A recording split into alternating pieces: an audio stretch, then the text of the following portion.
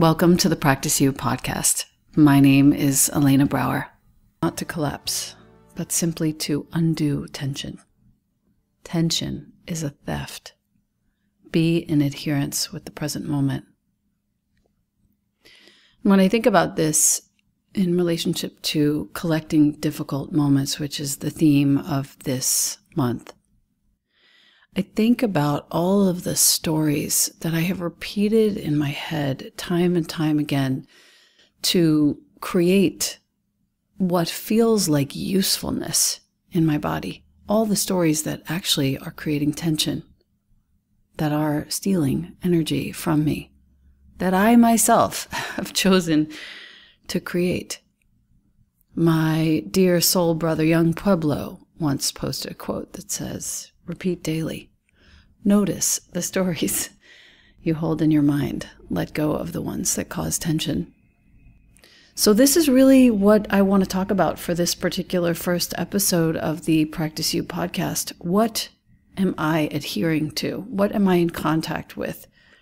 And why am I so afraid to be in contact with what is?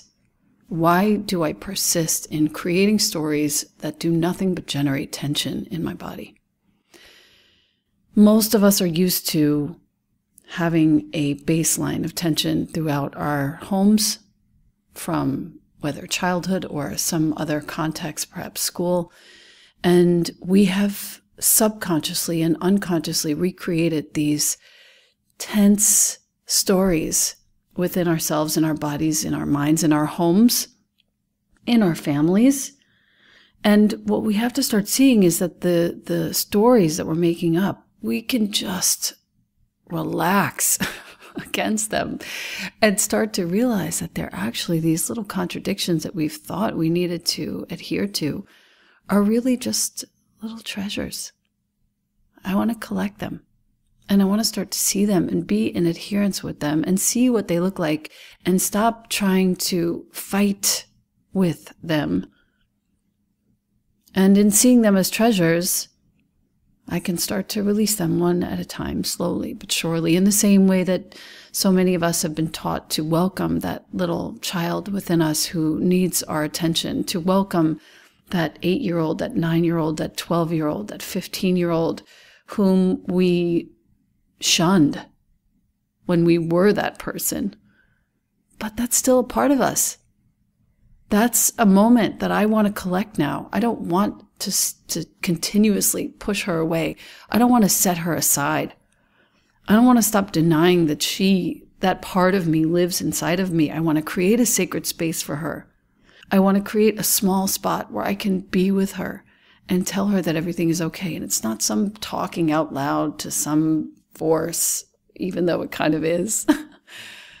it's just a way of being with the parts of myself that I have continuously shunned denied.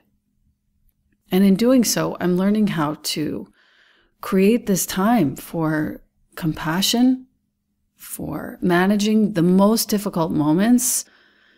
Any of you who have children, you know for sure that you are managing basically all the parts of you that you have been denying as they emerge in your child, in their behavior. And so, what hurts in that eight year old person, that nine year old person? What hurts and what's the lesson in there? Whose attention are we trying to get?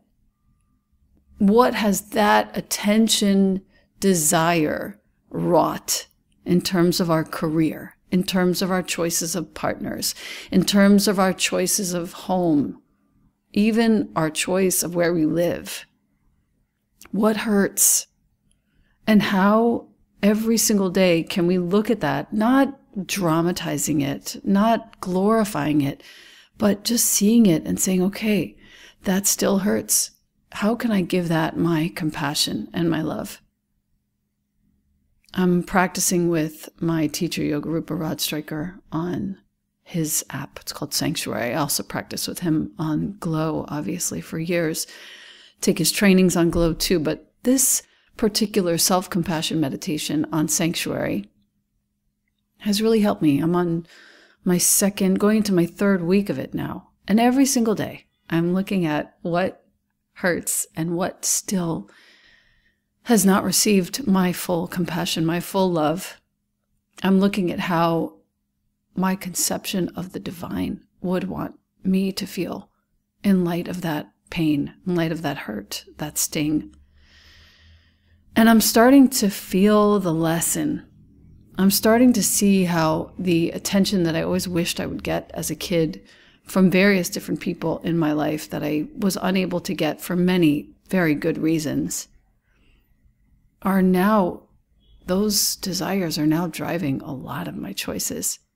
And I'm starting to be able to make better choices because of it. And I'm 48. This has taken a really long time. So this is not an overnight affair.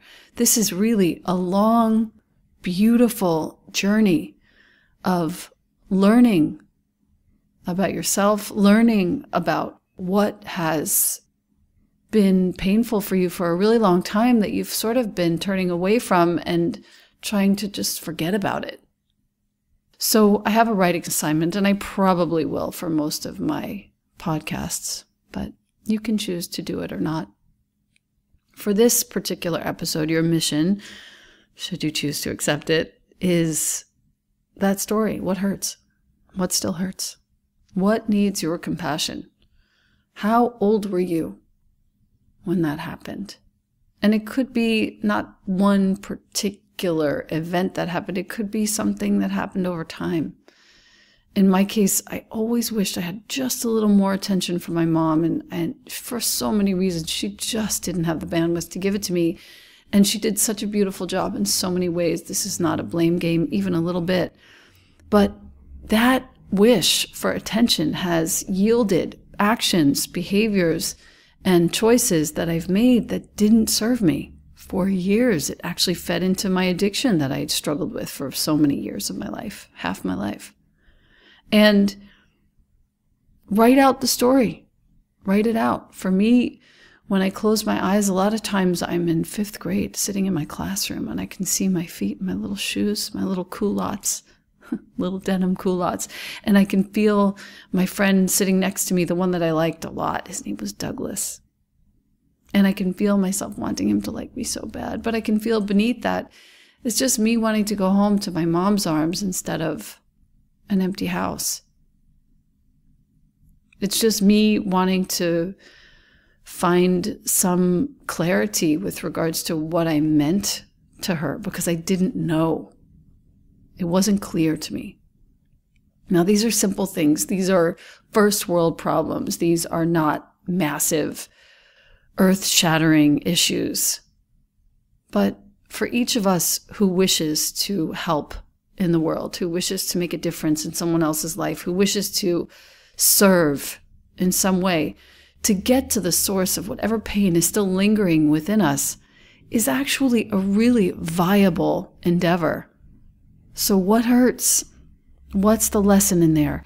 And can you close your eyes, get a pen, not your computer, not your phone, get a pen and a piece of paper and begin to write.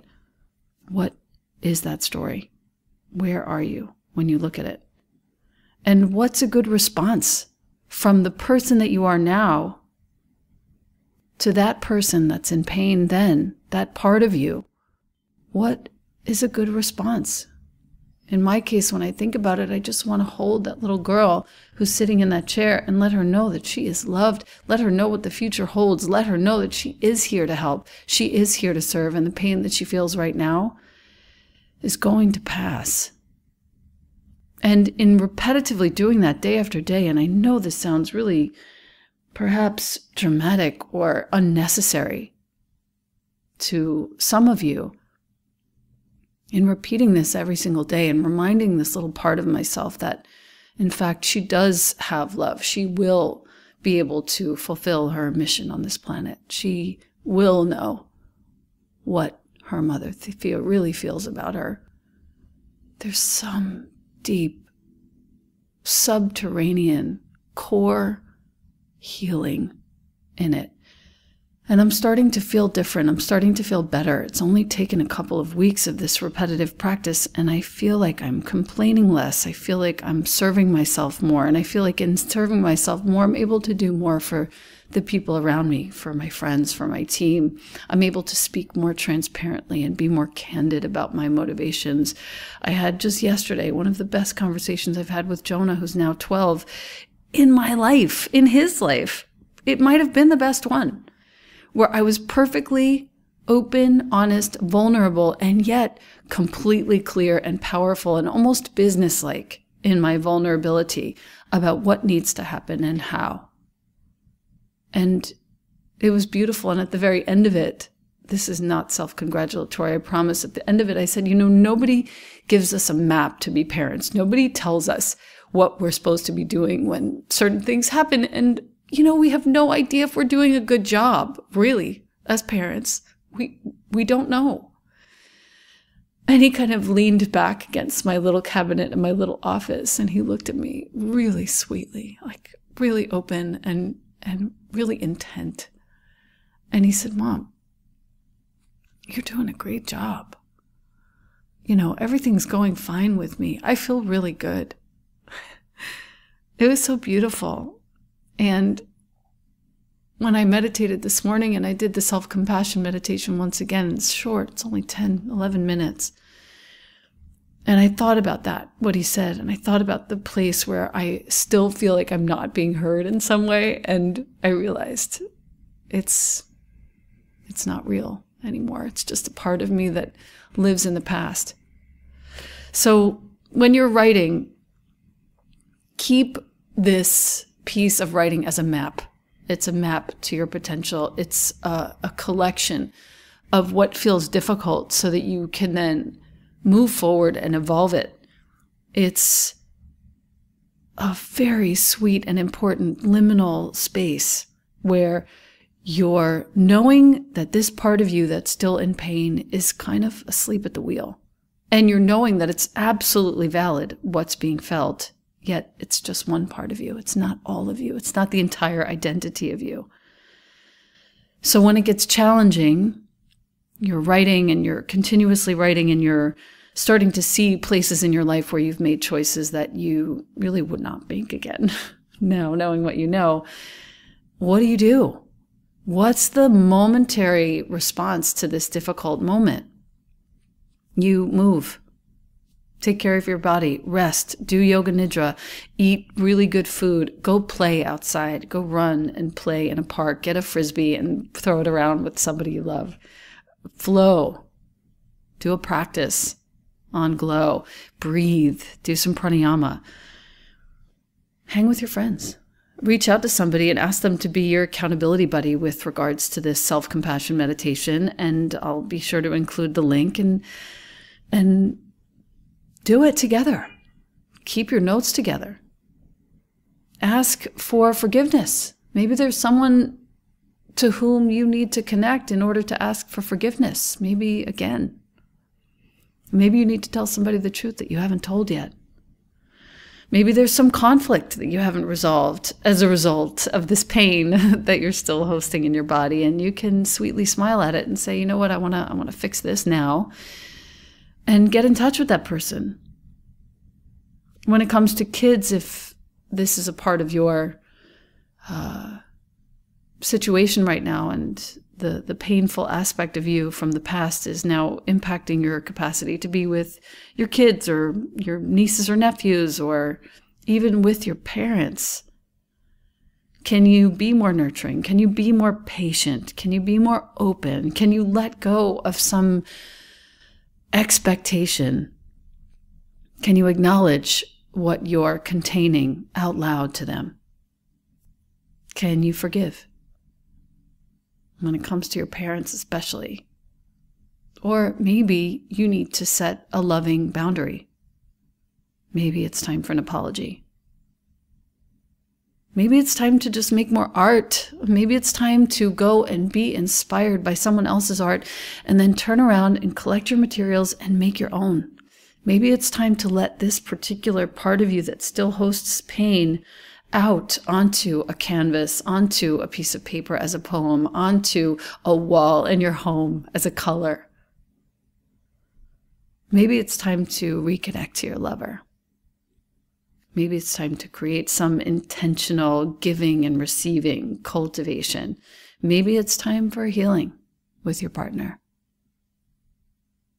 Maybe it's time to reconnect to spirit.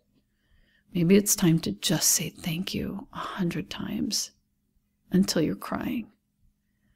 Maybe it's time to bless something. Maybe it's time to, as I mentioned earlier, create a sacred space for real. Put your stones there. Put a poem there, a quote there, a candle, a flower. Make it simple. A little card, your paintbrushes, I'm looking at mine right now and I'm seeing all of these things a little orchid, two crystals, three cards from my Practice You deck, one from Gabby's deck, a picture of Amma, a quote from my teacher, Yogarupa, a little candle from Nadia. Maybe it's time to just give back. Maybe it's time to really just stop what you're doing and think about who needs you and go and be there for somebody. Maybe it's time to just start keeping your word in a new way. Maybe it's time to be uncomfortable and take responsibility and be a steward for the earth. Be a steward for your own happiness.